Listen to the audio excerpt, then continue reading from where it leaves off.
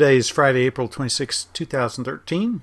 My name is David Favor. I'm doing a uh, site review for um, Ezra Firestone for her his uh, wife Carrie's site, um, which is a really cool name. This little piggy had roast beets, uh, which is a, a, vegan recipes and cooking. Hmm. Uh, all right, so this is a summary video there was an hour long uh, detail video that I'll um, tack on the end of this. The summary video, I'm just going to go through the um, uh, the 10 things I found uh, Ezra can fix to get his uh, uh, site time down. So let's take a quick look at the current site load time, which is uh, really ugly. Um, let's go look at the summary here. so for the bare domain, this little piggy head roastbeets.com, we're going to look at the speed for that, and then we're also going to look at the site speed for www. This little piggy head roastbeets.com. Most people don't realize those are two completely different beasts. Um, so real quickly, all you really require to know about this um, screen here is this. Number one, you should have A scores here on everything except CDN. That should be X. Uh, you should never use a CDN. Uh, CDNs work great for people whose website speed sucks, and they will um, remediate those problems. So remediation is um, like I um, have worked in the health industry for years, ran a client practice, and now manufacture a line of superfoods. And remediation means that you're putting a band aid over a problem. So, for example, um, liposuction or lap band surgery would be remediation for somebody who can't control what they put in their mouth. So, um, it, it's a way to uh, brute force fix a problem uh, at the symptom level instead of the root cause level. So what we're going to talk about here is how to fix symptom level problems and using a CDN or uh, root cause level problems. So CDNs address the symptom of a slow site and if a person has a slow site, CDNs will make a huge difference and better to spend your money and time because once you go down the CDN rabbit hole, it's like using Windows. You'll always be wrestling with, um, you know, suck hours out of your days sometime, uh, which is why I just use Mac and Linux because it takes zero effort on my part. Um, so CDNs, you should see an X there. For God's sake, don't use one. If you are using one, uh, you can get in touch with me and I can help you unwind from that because it ain't a simple process. Mm. Similar to getting off heroin. Um, all right, so the next thing is you should have all A's here. Um, looking at the um, um, the uh, bare domain, there's a D for compress images, and you can look here and it shows how to fix that. So um, easy fixes for this site uh, will be, I guess I'll make another summary list, is to compress existing images, which was one I didn't have on my list. Um, the next thing to fix, which is absolute which must be fixed? Well, first off, your goal here is for your first view to be less than a second and repeat view to be less than a second. And when we get through, um, we'll get really close. If we look at the um, if we look at the um, www version, uh, this first view time here is incorrect because if we look at the the detail view here, we see a bunch of these requests were canceled. See all these requests were canceled uh, for some reason. I'm unsure exactly why that is, but what we're really looking for is this top number here, which says how long does it take to do a redirect from www this little piggy to this little piggy. In other words, to go from the www uh, subdomain or host to the bare domain. And this is really ugly. 4.8 seconds. That ain't milliseconds, that's 4,800 milliseconds. So that means that if the bare domain is loading at 8.75 and a person happens to type in www, they're going to get almost an additional five seconds before they see the first part of that page. And rule of thumb is um, sub-second uh, access time because people's attention spans are so low that if you if you make them wait 11 seconds, you're going to lose tremendous amounts of traffic and um, uh, then the sales that go along with that. Uh, the way to fix this, uh, I, I, brought up a copy of my uh, website, um, uh, my Apache configuration file. And so there are a couple of ways. Most people do uh, 301 redirects to go from www to a bare domain in their what's called their htaccess file. And your geek of the realm, whoever's doing your tech work, ought to know what all this is. So if you don't, no, don't worry about it. Just pass it along to them. If you use an htaccess file, that means the web server has to go find that file, read the file into memory, compile all of the redirects. Those get recompiled every single access, and that can be extremely slow if you're using WordPress and a bunch of uh, redirect logic. I put it here in my server, and this is why. Um, uh, let's see if I bring up. Um, oops.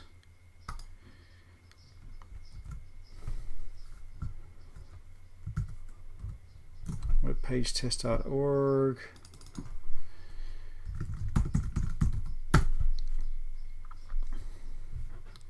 So I'm testing my, um, oh, actually, that's, um, that ain't to work. Uh, what I'm looking for is the www. I'll, I'll, uh,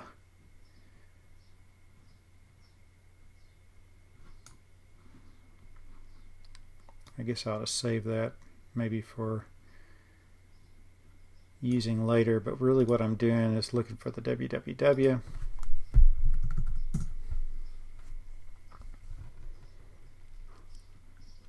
So in this case, uh, Ezra's side is taking uh, 4,800 milliseconds to do the redirect.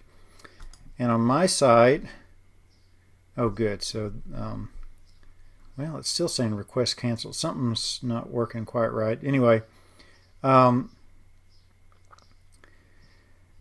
on my site, um, and this will vary from access to access time, but on my site, uh, this access it took uh, uh, 150 milliseconds to redirect from www to my bare domain.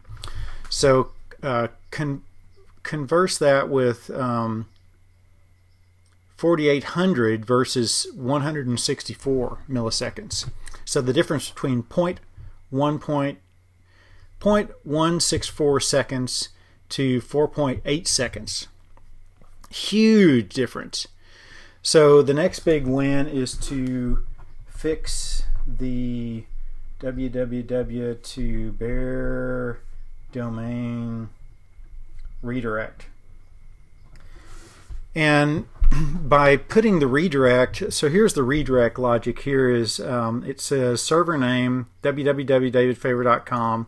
Whenever there is an access to www, this redirect here says redirect the the dash means anything to David's favor, the bare domain. So by putting this um, in the uh, domain configuration file inside the web server, the redirects don't have to do any of that uh, looking looking up a file, compiling all the file contents in the htaccess, and then doing the redirect, which can take huge amounts of time. Now another problem may be uh, Ezra's DNS setup. I'm unsure, uh, but that would be something um, uh, to check. Uh, DNS uh, response time. So in other words, if, if uh, Ezra, if you do this, if you change this redirect and the redirect time only drops a minuscule amount, like in other words, it goes from like, you know, five seconds to four and a half seconds, that, that points to a DNS problem. All right, so now we can, uh, let's uh, minimize this and let's look a little bit deeper here. so the next thing that will give um,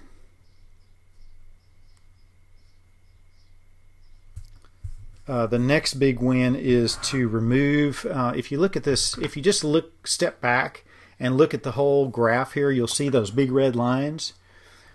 Though the the big red lines, the big yellow lines, and the big green lines, any any long line, we're going to get rid of.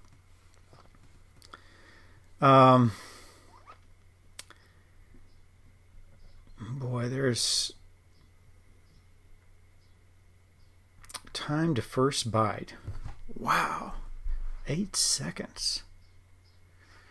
Okay, so the, the whole point here is we got to get rid of all these uh, images or all these um, um, anything that's taken a long time. So any place there's a long line here has got to go.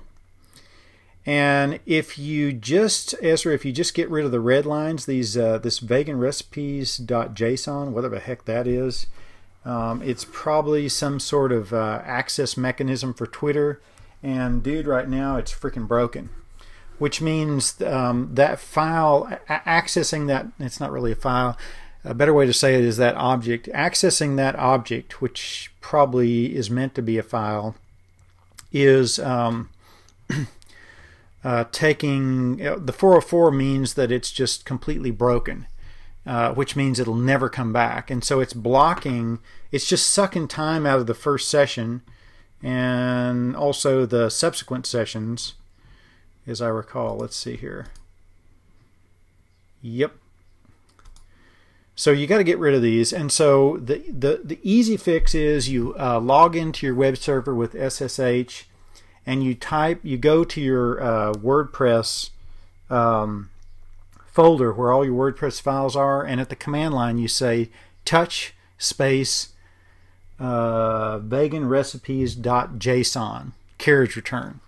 And that will create a zero length file for this uh, veganrecipes.json object, whatever the heck that is. Um, so fix, that's number four here is fix vegan recipes.json. So the touch command will basically create a zero length file so that uh, it'll return instantly. And then the real fix though is, um, you know, first you touch the file and that that gets rid of that long access, but you've still got this random access that's useless. So then the next fix is to um, go in and strip all references to that vegan recipes.json file out of wherever they're being referenced, uh, or fix that some way. Um, I don't know exactly what that is. Um, it looks to be like some sort of mechanism to access a Twitter feed, which is going to be very problematic because that means anytime the Twitter feed's down, your whole entire freaking website is going to stop waiting on the, this um, brokenness to um, uh, resolve by way of a timeout. A timeout means that uh, you know after a certain amount of time, the web server or the client, the browser that you're using, like Chrome or Firefox, will say, "Oh, I'm I'm going to stop. I'm going to break that connection, and maybe try it again later," which is what it looks like here. So this connection uh, to the thir- this 13th connection that um, webpagetest.org made is it went on and went on here and looks like it timed out probably around 10 seconds. And then the software went through and accessed some other objects. And then at uh, the item 31 here is it tried to get that object again and it still couldn't get it because it's never going to be there. And notice all these images here blocked. In other words, they're waiting on this object. So if you look, this time here is about one second this time here is about two and a half seconds. So let's see. I guess that's about one and a half. And around two. So about three and a half seconds. If you just get rid of, if you just do the touch zero, you'll get your site um, uh, serving speed down to around four seconds. If you strip this, you'll get it down to about three and a half seconds just by doing that one thing. Now the other thing to check here is um, what the heck this thing is. I don't know what this file here is. but it's got to be fixed. Let's see if I can actually um, access that and see what it is. So here's a little trick. I'm going to bring up a web browser here and see if I can actually put that cache object in and look at it. Oh, okay, so J, jQuery.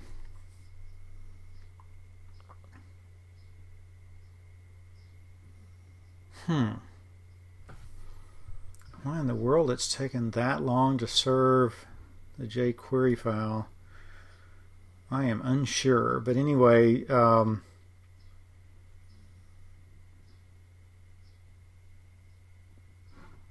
um, I'm going to pause this video and I'm going to test uh, the jQuery access on my site and see what that time comes out to be.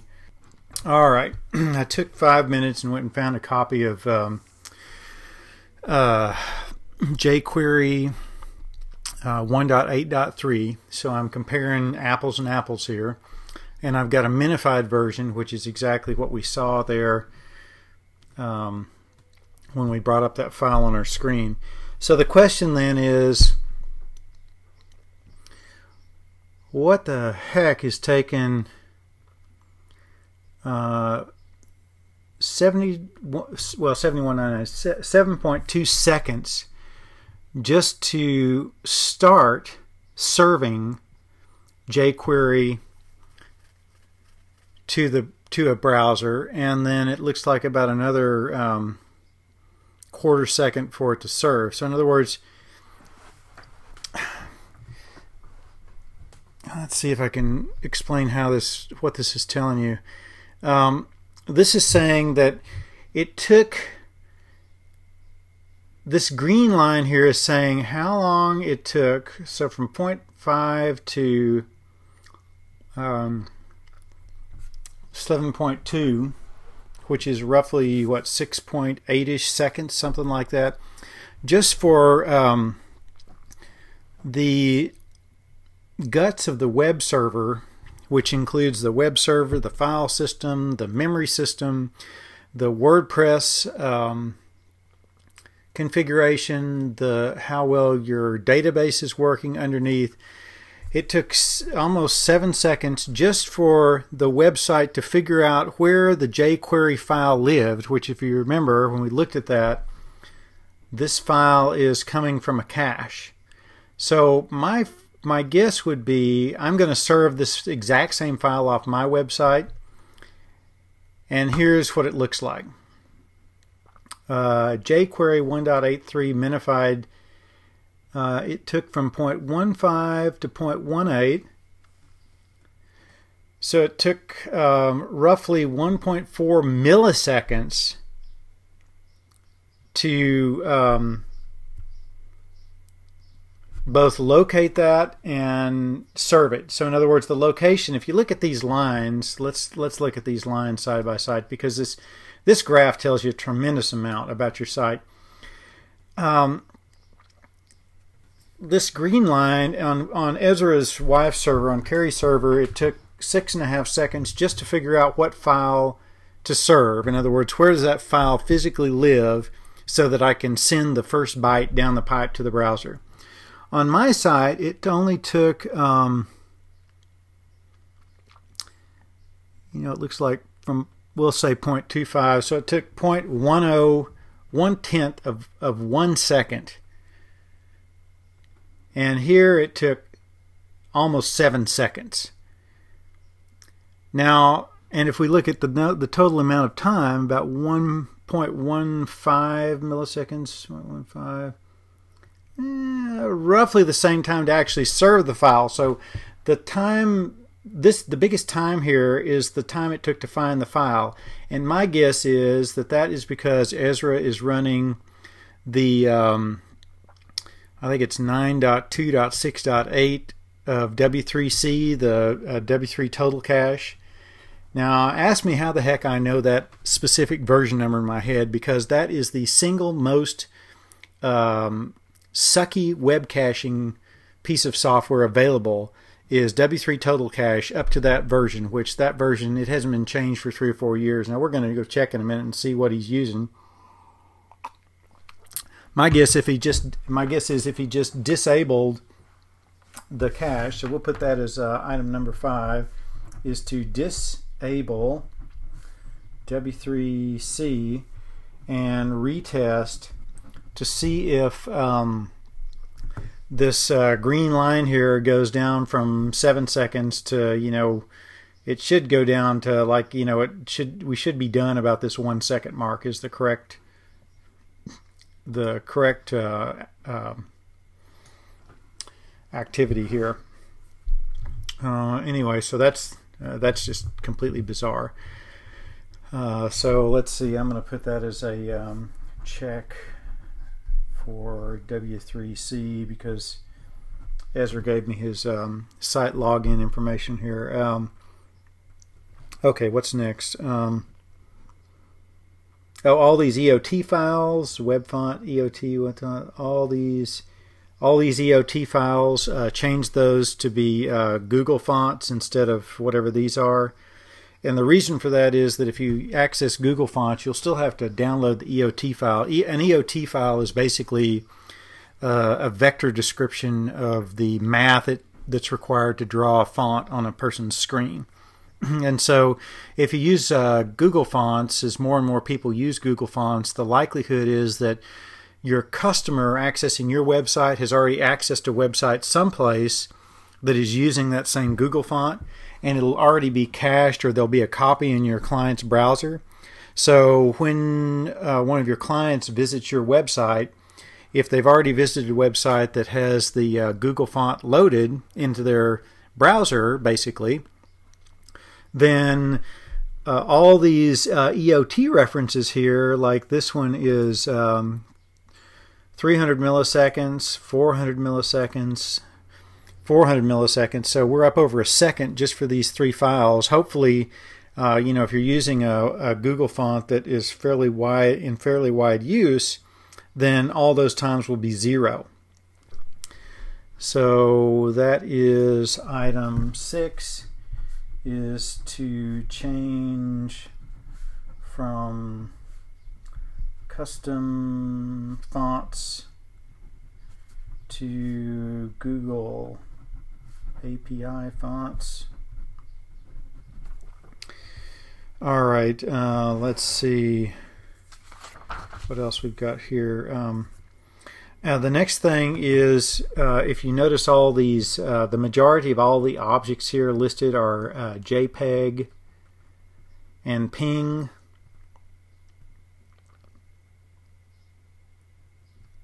And there's one GIF. and the ICO file is fine. Um, which, by the way, you must have an ICO file. This little file here, which is just a, it's the file that shows up where this. See this um, this little file folder thing up here where my uh, web pointer is. Uh, that little graphic, that ICO file, be sure you have that on your website, even if you go and um, um, log in with secure say, uh, shell and say touch favicon.ico or you know just do that on your um, however you publish your sites basically either have that icon in, on your site or have a zero length file there because what happens is if you've got that icon file missing every single page request from a browser to your site will look for that file so you'll have an additional page request that will always time out uh, like, like one of these red lines because the file doesn't exist, which will just suck a person's website down to its knees. So um, uh, make sure you've always got your uh, favicon uh, file there. All right, let's see. Uh, so regarding all these images, um, uh, you can look. Um, let's see. I found a couple of links here. Uh, if you look, if you search for W3 School, uh, well, here's the link W3C, um, W3schools.com, uh, CSS, CSS underbar image, underbar sprites.asp. You can just search for image sprites, uh, W3 Schools, and find this page. This basically tells you what sprites are. The simple explanation is that what a sprite is, is instead of having individual images, you take all your images and concatenate them one after another into a single image file. So instead of having, um, you know, how many, however many files are here, it looks like about, you know, roughly almost 40 files. Yep, over 40 files are image files. So what you do is you go to the few files that are ping images and convert them to JPEGs. And then you uh, use uh, something like if you search for um, compass spriting if you search with the string spriting with compass you'll find this web page. You don't have to understand this just um, uh, know that that uh, tool is there so that what you can do is you can uh, point that tool at a set of images and it will create all the CSS information and the single uh, image that you require for your um, uh, site so that you load the CSS file and the single image file onto onto your site. So instead of having 40 objects here now you only have one to send down the pipe. Um, and that will dramatically affect the speed of this site because see each one of these images when your browser goes after one in other words it has to finish this one before it gets this one before it gets this one. And so if you look at all these these are all stair stepped so basically they're having to wait for one of the other images to finish before the next one can start so if you have all those images in one image file there is none of that start and stopping nonsense uh, and which takes a tremendous amount of um, uh, time. So that's um, Spritify uh, images. And then also the other thing is a lot of these images have to do with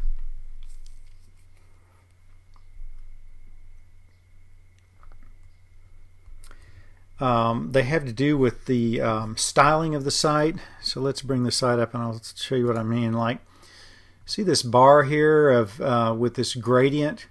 There are a lot of images used to build this, and this can all be done at all in CSS.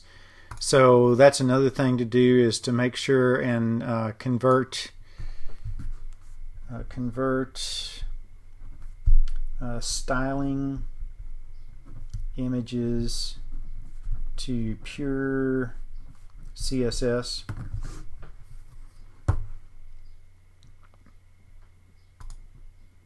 And let's see, so that's uh, the navigation items.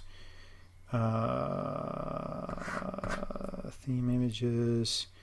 We've talked about the speeding up the www to bare domain redirect.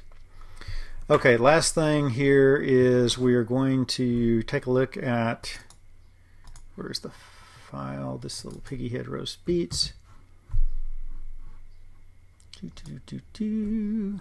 Bring us up another window here and minify these windows. what we're going to do is, whoops, this little piggy head roast, well, did the wrong thing here. We're going to go to the W3 validator and we're going to validate the HTML of this page.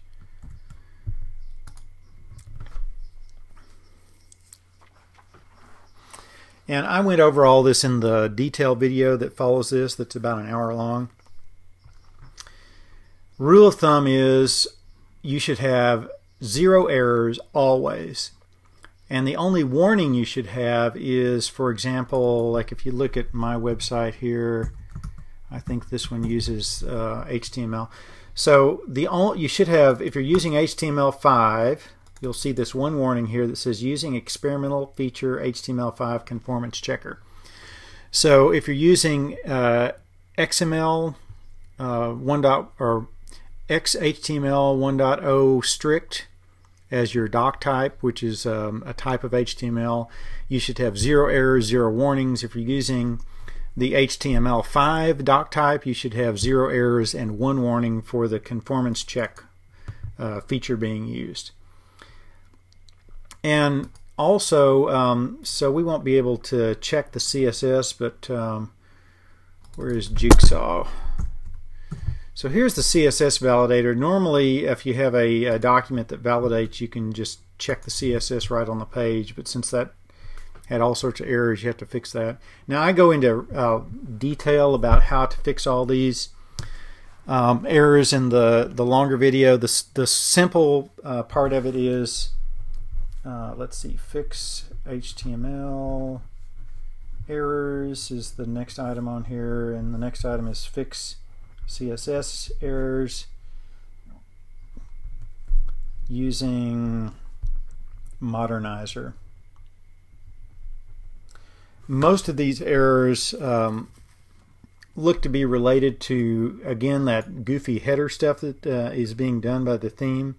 Like you see all these like gradient stuff, like Moz linear gradient and WebKit gradient all that is bad CSS. It should never, ever, ever be used because those are what are called vendor prefixes. So, uh, in other words, there's a different syntax for doing gradients in uh, Microsoft that uses this nonsense here. And then there's the nonsense that happens in Chrome and Safari, which is the WebKit cruft. And then you've got the Firefox and Mozilla cruft here. Um, which is that dash MOZ. So basically, um, what you require to do is use, um, if you go to modernizr.com, which is um, modern, it's uh, modernizer without the E before the R, modernizr. Um, and what Modernizr is, is a little piece of JavaScript that you include in the top of your um, programs or your web pages, and then you use a simple syntax which tells Modernizr what type of features you're using. For example, you tell Modernizr that you're using um, uh, HTML or you're using CSS3 gradient syntax. And then what Modernizr will do is it'll check your web browser to see if that feature is implemented in your web browser, and if it will, it does nothing. If that feature is not implemented in your web browser, then Modernizr will figure out how to implement it, which is just slick as all get out. It will figure out based on your web browser, which includes your platform like you know Linux, Solaris, um, BSD, um, Microsoft, uh, Mac OS.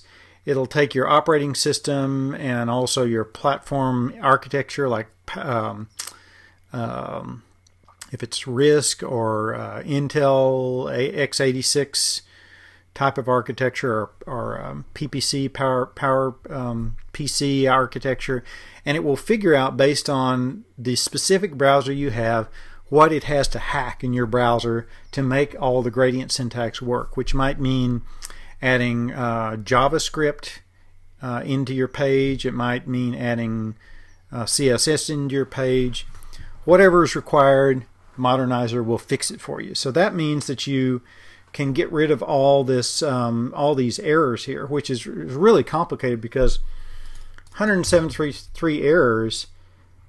How will you even know if there's a real error here? Most of these errors appear to be um, have to do with uh, uh, vendor-specific um, CSS prefixes, but who knows? I mean, I, I, I, I would be unwilling to go and try to figure out all this nonsense. Oh, and here's another piece of nonsense. This is some kind of what's called a uh, hack to fix a problem in uh, Internet Explorer 6 through 9. Uh, Modernizr just does all those hacks for you. Yeah, so I, I mean, there's no way I could even begin to. I mean, it freaking take me days to figure this out.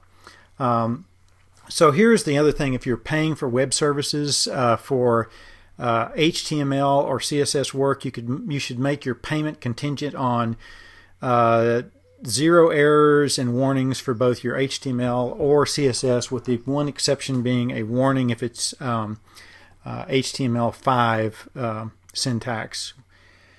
Uh, so let's see. So that gets the HTML uh, and CSS vendor prefixes. And I believe that's it. And so let's just, uh, just for grins, go back and look at. Um, if we fix all those errors, I'm just looking, I'm just um, doing the math in my head here. It looks like that the speed of this site would drop to about um, uh, 0.8 to 1.2 seconds for the first page, and then something like 0.03 and a, or a 0.3, so 300 milliseconds for uh, second and subsequent visits. So if all these things get fixed, then um, uh, Ezra will have for this website uh, the you know the target of a sub-second first page and subsequent pages. Let's check one other thing here, which was the um, uh, the um, plugin to see. Well, let, let me just log into his site right quick. Okay, so here's the site, and let's uh, log into the back end, and we're going to go to plugins and see if there's um, specifically if there's uh, anything we can do. Let's just check to see what updates. Um,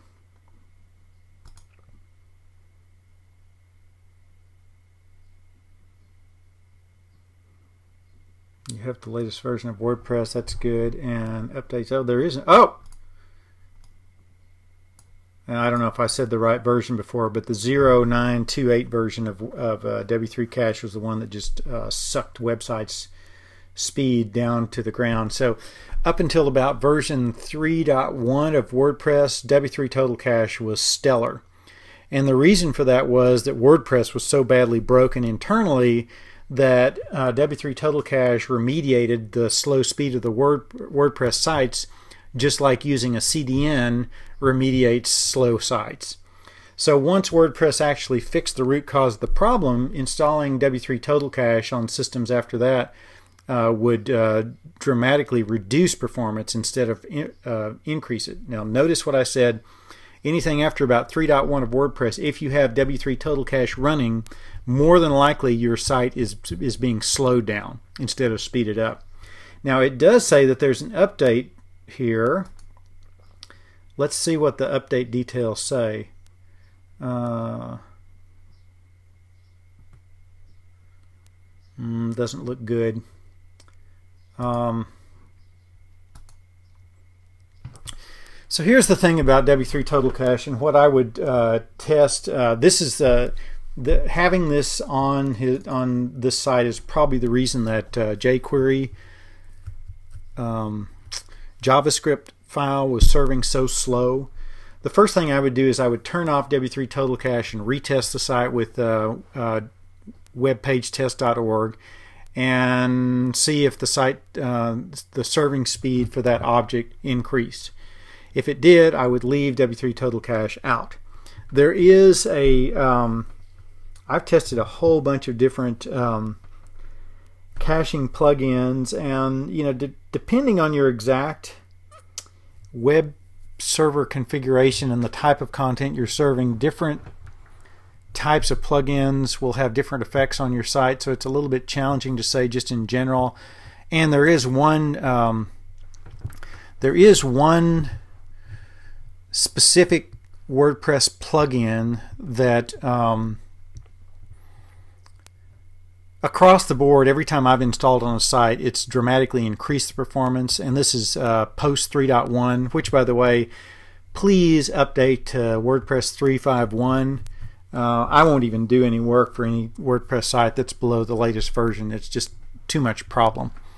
Um, once you update to the latest version of WordPress, though, and you install this special plugin, um, the site speed usually goes up dramatically, even for an optimized site like the ones I do. And rather than telling you what that plugin is, um, here's what I'll do. This will be reviewware. I will tell you because it took me probably three or four days of testing. So this is the payment that you're going to make for my three or four days of testing. Unless you'd like to do it yourself, you'd like to, go for it. Um, or you can go to davidfavor.com slash bb uh, and uh, buy a copy of my beautiful business book. Uh, no, you can't get it from Kindle Lending Library. Um, buy it. It, so you're paying 10 bucks for four days of consulting. I'd say that's a pretty darn good, um, uh, that's a pretty good uh, investment. And uh, scan the table of contents and click on the table of contents and go to the chapter that, some chapter that stands out to you and read that chapter. They're really short chapters.